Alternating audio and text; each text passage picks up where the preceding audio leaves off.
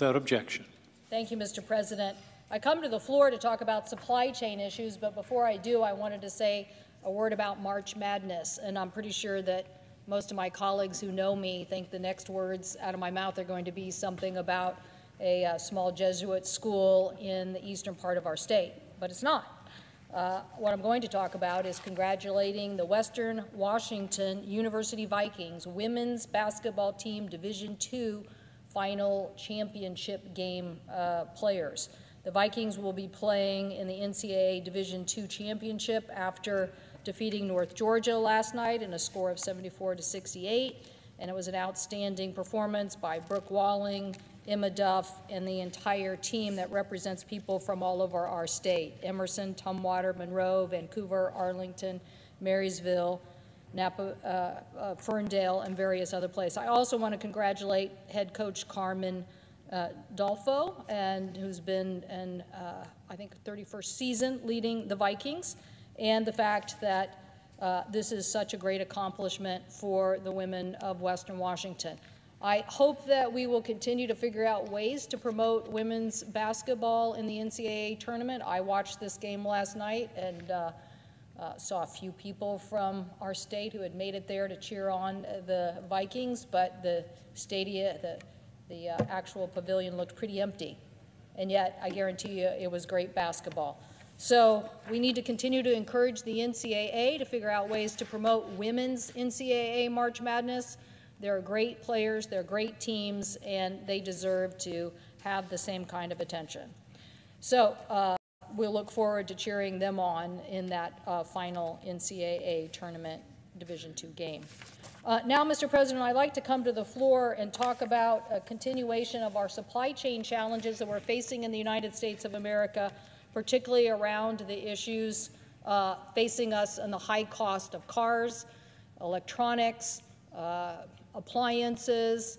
Uh, actually, you can say that our chip supply chain issues actually impact just about everything because yesterday we had a hearing with major producers of chips, uh, semiconductors in the United States, and also one of the witnesses who happens to be in the freight business because they produce uh, trucks that are moving freight throughout the United States of America. They said the fact that they can't get these new generation trucks out the door because of the semiconductor shortage means that it's even impacting the cost of freight of every product. So I implore my colleagues to come to the floor and support sending the bill back to the House, telling them that we want to go to conference and get into conference as soon as possible. Those who want to delay this are just delaying the United States in our competition with the world in producing and manufacturing great products. If you don't have the best chips, if you don't have the manufacturing, you're not going to lead. We already know that in 2021 we needed 1.2 trillion chips per year. 2031, that is going to be 2 trillion chips per year. So we know that this shortage is going to continue far into the future unless we act. Why is this so important? Obviously, there are sectors like energy, transportation, high tech, communications, national security. They all depend on us acting. But believe it or not, there are companies all throughout the United States right now who are looking at this issue on supply chain and saying, are we going to make moves to take the supply chain back into the United States right now? I'm saying they are making these decisions this month. They are making these decisions next month. But there's some here who think that we can dilly-dally along and maybe take months and months and months to reconcile these two bills. They are absolutely wrong. I guarantee you, the Europeans are not waiting. The Europeans have decided they are going to fund this investment.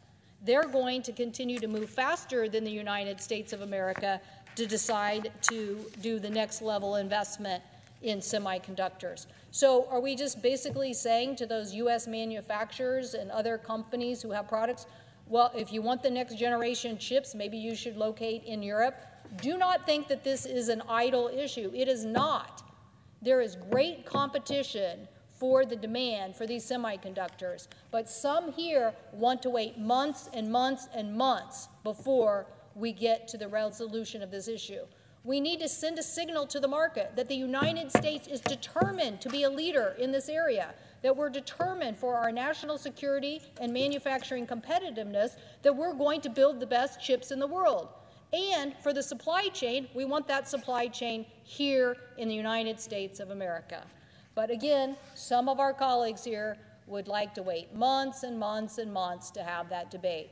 Well, we've already waited 286 days since the Senate passed in a bipartisan measure this uh, particular proposal, and now, uh, again, people want to hold up this process because they don't quite understand the pain at the pump. Well, Mr. President, this is the demand increase that we're going to see in semiconductors, as I said, by 2030. There is a demand increase 200 percent. There's a demand increase in the wireless sector, 60% by 2030. Consumer electronics, 80% by 20 and 30. What are we waiting for? What are we waiting for? We know there's demand. We know that we can make these chips.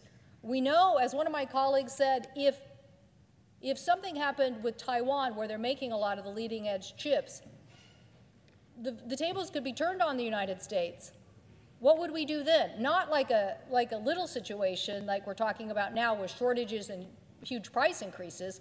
What would we do if the major supply coming out of Taiwan was affected? So we have to get busy here and work on this legislation and start focusing on the fact that it is affecting our consumers right now. The price increase for our consumers is 41% increase in the cost of a car for a used car today. That's about, uh, if you think about it, uh, we estimated a car, a used car, a truck that cost $5,000 a year ago now costs $7,000. So a 41% increase. That's $2,000 that a young family that could be going on a vacation or taking care of something in the house or maybe making a down payment on a home or buying groceries or taking care of rent. Now they have an extra $2,000 if they just want to get a car to get them to and from work. That's what we're talking about. We're talking about real impacts that are happening in real people's lives today. And some here are cavalier about these costs. They think this is all about how long are they going to wait until they give the President of the United States another victory. And that is a wrong approach. The approach should be what are we going to do to deal with the high cost of products that we now don't have because of supply chain disruptions, and what are we going to do to resolve these issues? Now, I will debate anybody on either side of the aisle who do not want to move forward on this bill because they don't like the approach. Maybe they don't like the concept of the United States making an investment here. But I will tell you, it's very clear the United States has fallen behind. It's very clear we went from 36% of the market down to 12, and if we do nothing, we're going to fall even worse, and we won't have any of the supply chain here. It will be located in other places. I know the American people get this in an intuitive fashion. The information age is run by semiconductors that increase their capacity to translate more, to translate in the automobile, the voice activated commands, to do the intricacies of communications, as I know the presiding officer knows on the issues of communication and national security. We have to depend on these for our national security. So we need to quit wasting our time here. These issues are, and my colleagues know well, come and make your vote. Make your vote, but quit holding up a bipartisan discussion by both houses on facing a supply chain shortage that is affecting Americans every single day. And if you do nothing, this demand is going to continue to increase, and we are going to continually be falling behind. So I plead with my colleagues put this aside and vote the way you want to vote, but let's get to conference. Let's show the American people that we can collaborate on solving our supply chain problems, on trying to be serious about sending signals to the automotive industry, to the communications sector, to the national security sector, bring the supply chain back, put it here in the United States of America, and let's get busy doing what we know how to do best, and that's innovate and make America competitive. I thank the President, and I yield the floor.